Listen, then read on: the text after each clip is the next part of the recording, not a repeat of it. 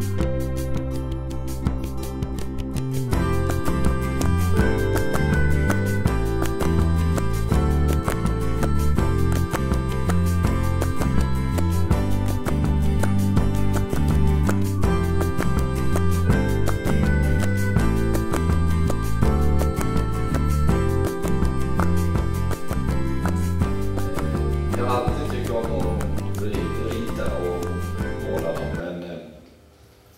akvarell, ja, det är ett bra medium och enkelt att ta med sig om man vill vara på plats. Och,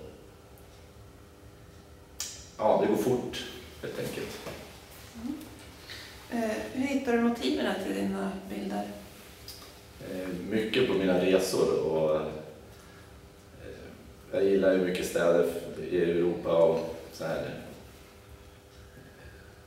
gamla stenhus och sånt. Men även här hemma finns det ju mycket så att det kan vara, man kan hitta motiv lite var som helst. Eh, hur lång tid tar det att göra en målning? Det kan ta mellan en och två timmar ungefär. Och sen kan ju detaljerna ta lite längre. Då. Eh, vad är det som gör utomhusmåleriet så speciellt? Ja, för det första, man ser ju mycket mer. Färger kommer fram, skuggorna blir inte lika svarta och ja, men du känner lukt och allt så det blir en helt annan stämning. Så att, ja, det är jättehäftigt. Det ska alla prova på tycker jag. Vad är det som är tjusningen med att måla akvareller? Det är väl att försöka, man försöker ju ha kontroll på det men det funkar ju inte riktigt så utan akvareller lever ju lite sitt eget liv. Så man får med och styra pigmenten lite bara. Eh, hur kändes det när du fick reda på att din bild skulle vara med i Shanghai och det var bara du och Lars Lerin som skulle re- representera Sverige? Ja, det, det var stort. Det var jätte... Ja, vad ska jag säga? Häftigt. Men... eh, Ja, jag blir helt tung efter. Okej, vi går vidare. Berätta, vem är Benny Stigson? Eh, Jag bor i Kolsva. Har jobbat som busschaufför då i 25 år.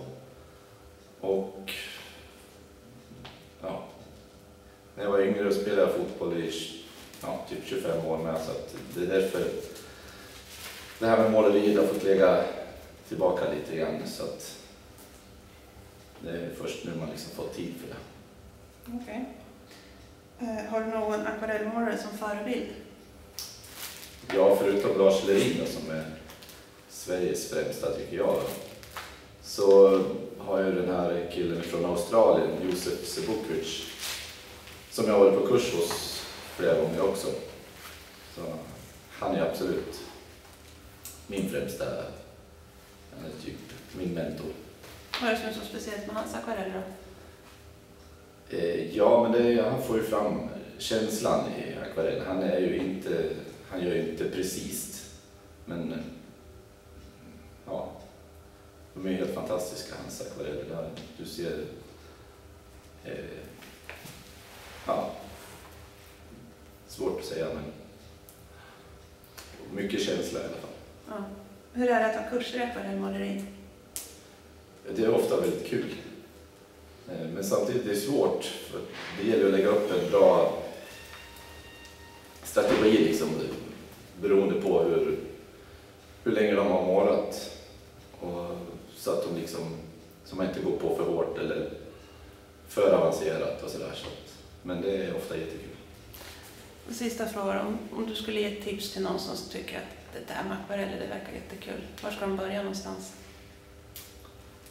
Eh, ja, man kan börja och titta på ett Youtube-klipp eller söka lite på nätet och sådär.